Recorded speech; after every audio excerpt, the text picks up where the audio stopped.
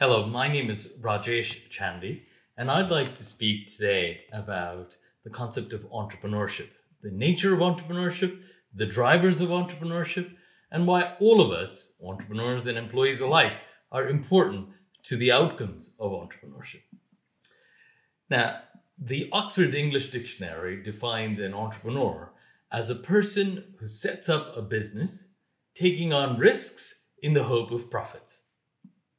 Now, if I use the word entrepreneur, uh, if I say that word, who is the individual who comes immediately to mind? Who are some of these folks? Yeah? I've asked this question many times to many audiences, and typically the answers I get are perhaps this is what you were thinking Bill Gates, Steve Jobs, Elon Musk, and then a successful business owner from your own country, um, say Richard Branson or someone uh, of that ilk.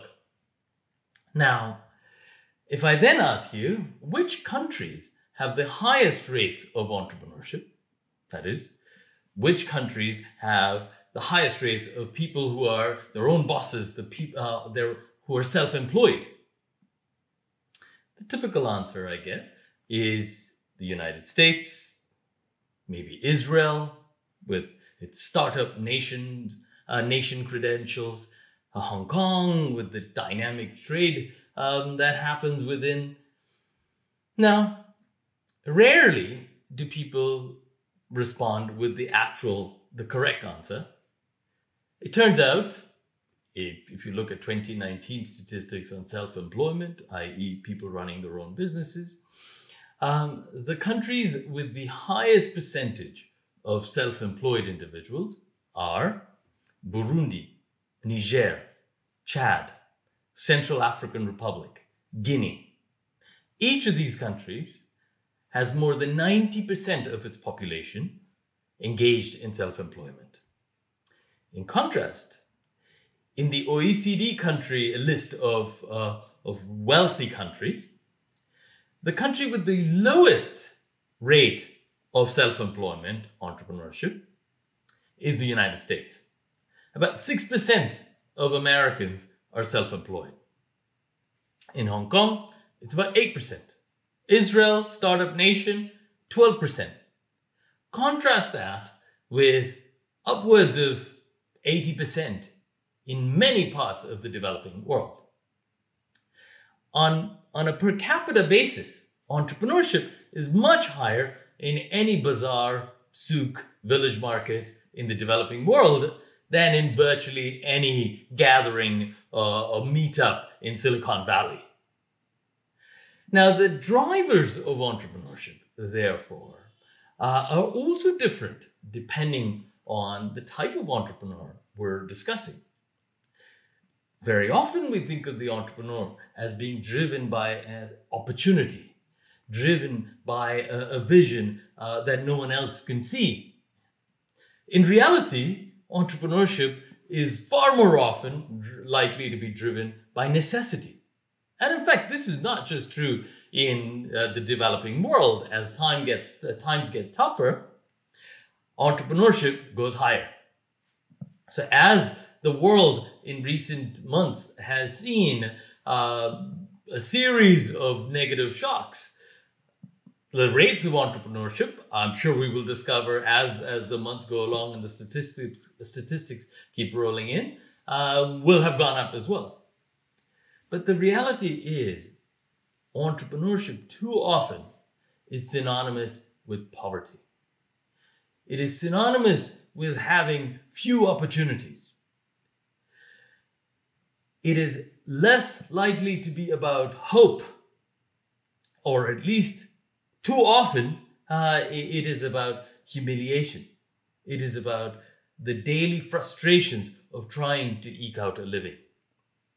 Perhaps the individual who best encapsulates this reality of entrepreneurship is Mohamed Bouazizi, the Tunisian street vendor, uh, who was so frustrated by his inability uh, to sell or, or, make a living um, and the daily, daily humiliations he faced um, trying to sell fruits and vegetables on the street that he doused himself with petrol and set himself on fire. That was in 2010. And the effects of his action, many argue, um, are visible to this day.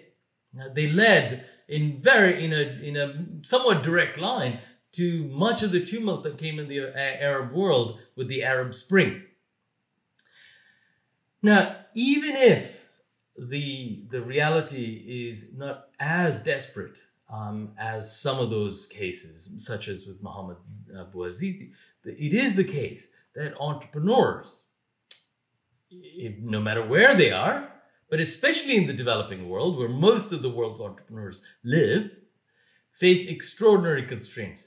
They, cons- they face constraints around rules, the rule of law, for example, um, and having access to, um, to property rights, access to money, collateral to borrow, skills, basic business skills, or indeed the kind of human capital, as the economists call it, uh, education, um, and uh, and the uh, and the exposure that uh, they might have that might allow them um, to to fulfill their dreams more effectively or create businesses that could grow, and access to information where information about who the right customers are, where the competitors are, where technological and other possibilities exist is unavailable to many of the world's entrepreneurs. I remember um, interviewing uh, grocery store owners in, in a slum in Cairo.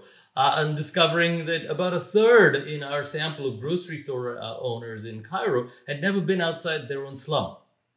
And if you asked um, these entrepreneurs, um, who are your customers? They would look out and they, po- they would point to others on that street.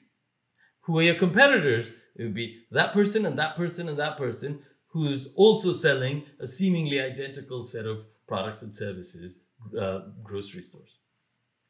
So the reality um, of entrepreneurship is that it is too often filled with constraints. Now, again, uh, this is not unique to uh, the developing world. Uh, the management theorist Peter Drucker pointed out entrepreneurship is risky because few entrepreneurs know what they are doing. The good news, however, is that the winds of change are blowing.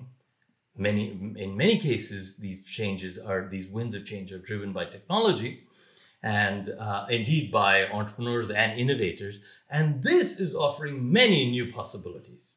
In in just about a week, um, I'll be starting a new course at, at, London Business School with some colleagues where our students, um, MBA students at London Business School, will be consulting with entrepreneurs in um, very distant parts of the world, in Rwanda and Uganda and Nigeria and elsewhere, learning about um, the opportunities and the constraints they face, and in the process, um, hopefully communicating ideas in both directions.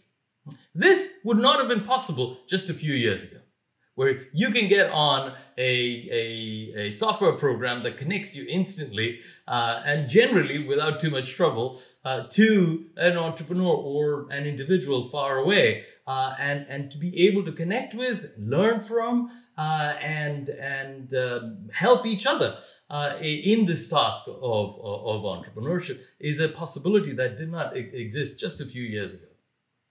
Uh, later this month, I'll be doing a roundtable uh, involving uh, several others, uh, large corporations, um, large uh, businesses, um, large um, government entities, as well as several villagers from rural India um, who will who will tell us about the reality of, of how the pandemic is affecting their lives and the constraints and, and challenges they face, and indeed the opportunities. Mobile money is making uh, possibilities that uh, making things possible. In fact, the ability to access funds from the famous three F's: friends, family, and fools. Uh, you could do so at the touch of a button these days, whether you live in Kenya or Rwanda or many other parts of the world.